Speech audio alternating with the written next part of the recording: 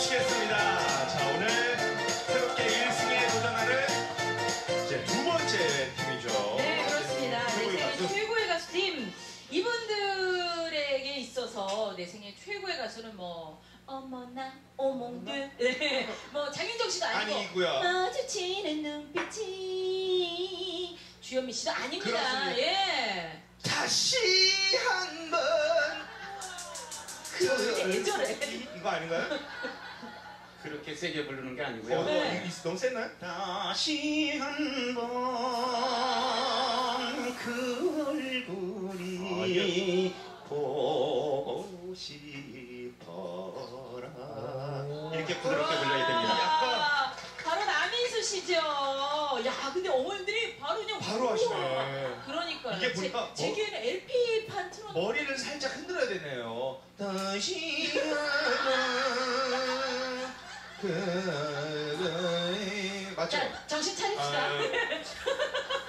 안 아. 예, 그렇습니다. 아니, 저희한테 정말 깨알 같은 정보를 주셨었어요. 다 외우지도 못해요, 정말. 남인수 선생님 기일이 되면 경남 진주에 있는 산소도 꼭. 한번 찾아가시고요. 그리고 지난번에 나오셔서 말씀해 주신 게 가수 남인수 씨가 본명이 강문수다. 1938년에 작곡가 박시춘 씨가 남인수라는 예명을 지어줬고 맞아요. 그리고 이제 23살에 김은아라는 분이랑 살다가 나중에 이제 그 이난영 여사를 만나게 됐고 뭐 이런 뭐 깨알 같은 정보를 진짜 주셨어요. 그러니까요. 예. 그동안 어떻게 지내셨나요?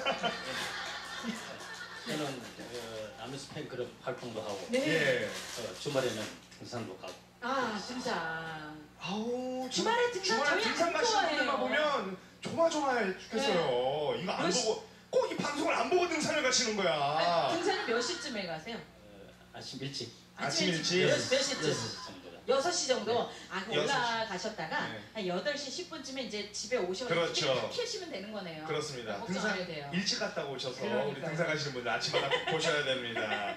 근데 두 분은 그나저나 언제부터 남희수 음. 씨를 좋아하셨던 거예요? 그러면? 제가 13살 때쯤 6.25 전쟁이 끝나고 어수선하고 어지러울 때 예. 남인수 선생님께서 제가 살던 시골 고향 학교 운동장으로 공연을 오셨어요. 네. 그래서 어, 하얀 옷을 아래 위로 입고 하얀 궁전 모자 쓰고 음. 하얀 백구들을 신고 하얀 명함 한 장을 들고 오. 헤어지면 그리웠고 만나 보이면 지들하고 오. 이렇게 노래 부르시는 아, 모습을 네. 보고 첫눈에 반했습니다. 이야, 아니 그러면 거의 6.25 때쯤은 거의 10대 정도부터 쭉 그냥 팬이셨던 것 같아요. 12 살이면 그쵸? 초등학생. 거의 그 정도 아니세요? 그렇습니다. 예. 예. 예. 그럼 손정원 선생님은요? 어, 저는 1962년도 네. 제가 그러니까 14살 때 예.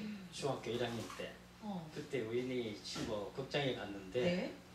그 뉴스 시간에 그 자막에 남희수 선생님이 장례식 예, 아, 그 저 영화 전에 아닙니다. 나오는 예, 예. 뉴스에 예. 예, 그런데 그 남희수 선생님이 그 돌아가시기 전에 생전에 공연하시던 모습 황승예태의 그 아, 노래가 예. 부르면서 그게 영상이 나왔습니다. 이야. 예, 그런데 그, 그 관객들이 예. 그 모습을 보고 눈물을 흘리죠. 눈물을 흘리죠. 팬들이 그렇죠. 많으셨으니까. 그런데 그때 제가 어린 나이지만 예. 참 너무 일찍 돌아가셨다는 그 생각에 예. 안타까운 마음에 마음이 몹시 아팠습니다. 그렇군요. 그리고 사실 남희수 씨는 노래를 뭐 천곡이 넘게 많이 남기셨는데 남기셨어요. 그 중에서 가장 좋아하는 노래가 따로 있으실 것 같아요. 예, 1962년도에 돌아가시기 직전에 네. 부르신 노래가 있는데 눈 감아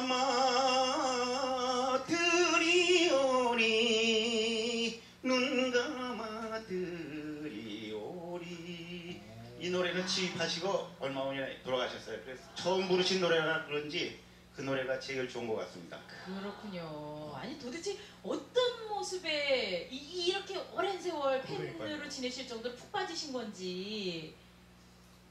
어, 우리 세대가 6.25를 거치면서 예. 다 같이 어렵고 힘겨울 때 선생님의 노래가 유일한 위로였어요. 네. 예. 가요 황대라는 말을 듣는 것 같이 그럼요.